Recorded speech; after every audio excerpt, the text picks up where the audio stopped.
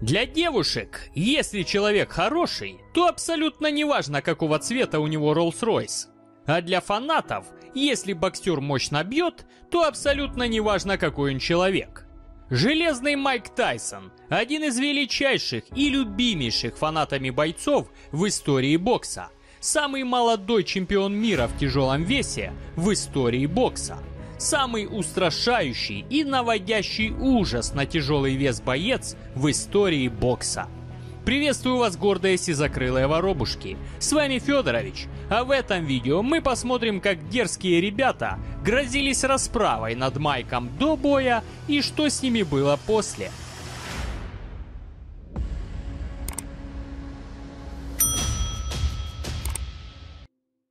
Is there a deal for you to fight Mike Tyson? Yes, it's a deal. There's a few things that we have to work out yet, but it's a deal. You know, I'm ready to go in there with Mike uh, sometime January, whatever day they want. And out of this fight, I hope it's such thing as fairness. Last time I didn't get it, and I complained about it. The world seen it. Now I hope once they see it once more, it's fairness. I'm gonna knock this guy out. 22 января 1988 года молодому и непобежденному Тайсону пришлось защищать три своих чемпионских пояса от дерзкого и уверенного в себе Ларри Холмса.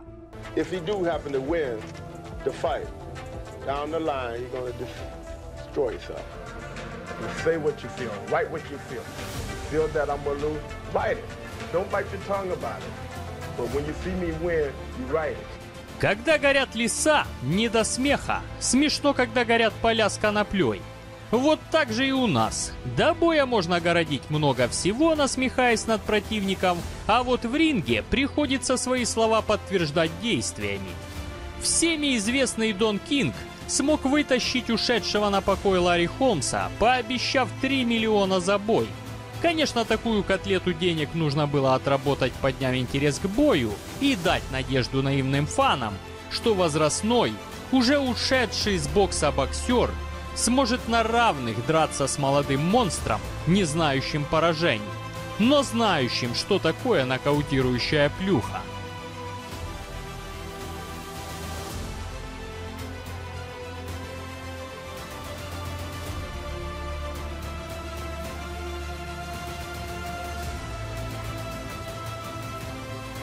Если мужик хочет жениться на умной, доброй, красивой, хозяйственной и богатой женщине, то ему придется жениться пять раз.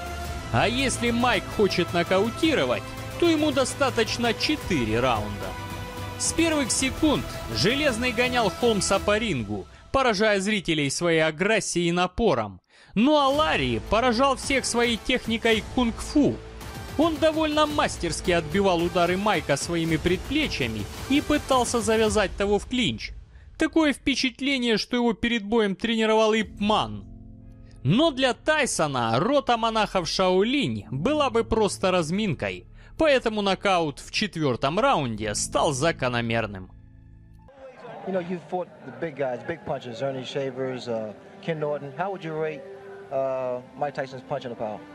Well, I got to say he's a sharper puncher than the other guys. The other guys punch much harder, uh, but he's uh, a sharper puncher. You know, hit me right here on the forehead and knocked my delivering off, and uh, that's all. You know, I just didn't have no more balance.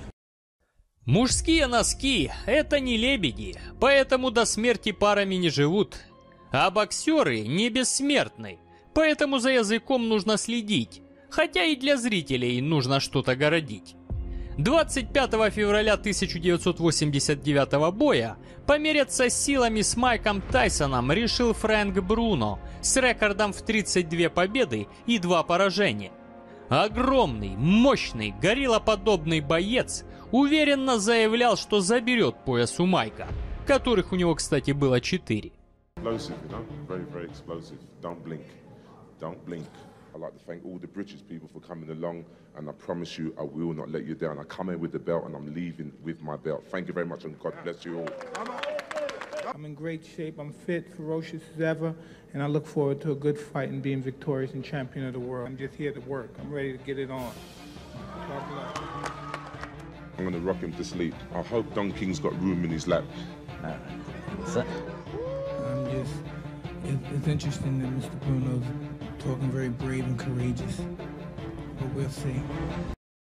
Забавно, когда выезжаешь на встречную полосу, а получаешь удар сзади.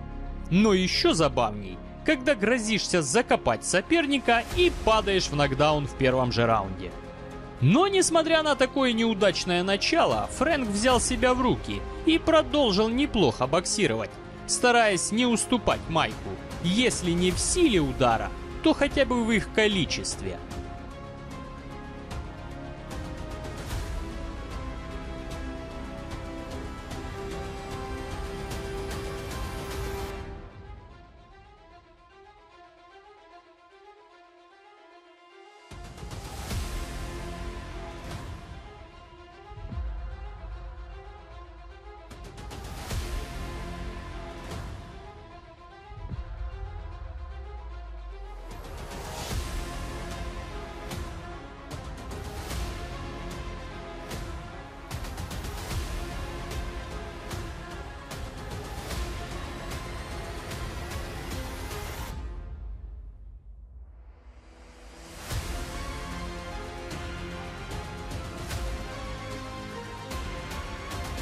Зрители наслаждались таким сумбурным поединком целых пять раундов, пока рефери не остановил побоище после очередной мощной комбинации Тайсона.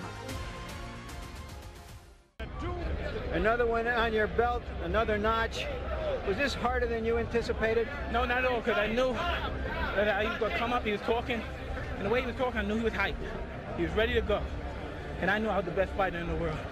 All right, Frank, you're one of the few people now who've had the experience of being in here with Mike Tyson. What is it like? A very, very good experience. He's a good fighter. But as I said, he's just a human being like everybody else. But you didn't have the kryptonite tonight. No, not tonight. But you did hit him with an awfully good punch in the first round, a Yeah, left hook. Did you feel him crumble a little? Yeah, I felt him crumble very well. But was he too clever to be able to get more punches in at? He's a very good fighter. As I said, you could take nothing away from Mike Ty- Tyson. And I thought I had the power to beat him tonight, but unfortunately I didn't win. Did you fight the best possible fight you could fight? Because it seemed you were more aggressive than we anticipated you Uh, being. Not really. I should have fought a bit more constructive a fight, but I can't really take nothing away from Mike Tyson. He's a good fighter. Irish Hurricane Peter McNeely. I'm Hurricane Peter McNeely from Medfield, Mass. On Saturday night, watch me kick Tyson's ass. But if you haven't made your pay-per-view arrangements yet, make them soon.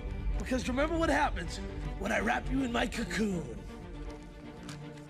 I'm just happy to be here. Everybody's made their statements. Um, Mr. McNeely had a cute statement. I'm just re- ready to fight. Thank you, everyone, for your support. Thank you. Мужик, вышедший из Макдональдса в «Жигули» — свиноподобный толстяк, а в «Лексус» — солидный упитанный мужчина. А как бы себя ни называл боксер до боя, ему главное, чтобы его не обзывали после. 19 августа 1995 года Питер Макнили по прозвищу «Ураган» до боя обзывал Майка как хотел и даже написал ему стишок с угрозами «надрать зад». Но Железяка был на удивление спокойным на пресс-конференции, чего не скажешь про бой. Дурак — это такой человек, который не умеет прикидываться умным. А вот боец может прикидываться крутым, но только до тех пор, пока не зайдет в ринг. С первых секунд Ураган показал, почему он ураган, и накинулся на Майка, как бешеная собака на слоновую кость. Но Железный очень быстро охладил запал Питера, отправив в нокдаун. Некоторые зрители даже удивились, как с таким боксом мужик смог набить 36 побед и лишь одно поражение. Хотя, возможно, он просто перегорел при виде Тайсона напротив себя и решил побыстрее к нему подбежать, чтобы побыстрее лечь, что у него и получилось. Но с таким избиением был не согласен менеджер Макнили, который, наверное, еще не выплатил ипотеку за новый дом и хотел, чтобы Питер продолжил проводить бои. Поэтому выбежал в ринг, за что рефери дисквалифицировал бойца, присудив победу Майку. This happened so quickly. Can you really gauge what kind of a test this was, or was it over so quick that you can't tell? As you know, as soon as, I, ca- as soon as the bell rang, he just came at me. and I ain't had too much time to anticipate anything, so I just went with instinct and just started throwing punches. I was um, basically planning on countering it, making a missing punch.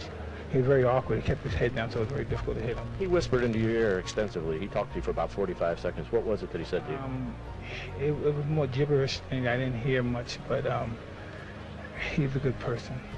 I was definitely ready to continue. As you saw, I was right up from both, what was it, two knockdowns? Correct. Well, I was up after both knockdowns, uh, not a dent in the fender. Um, he's quick, he's a snappy puncher. Uh, Если вам понравился такой формат, пишите в комментах, и я сделаю вторую часть. Подписывайтесь на канал, ставьте лайк, жмите колокольчик и делитесь видео в соцсетях.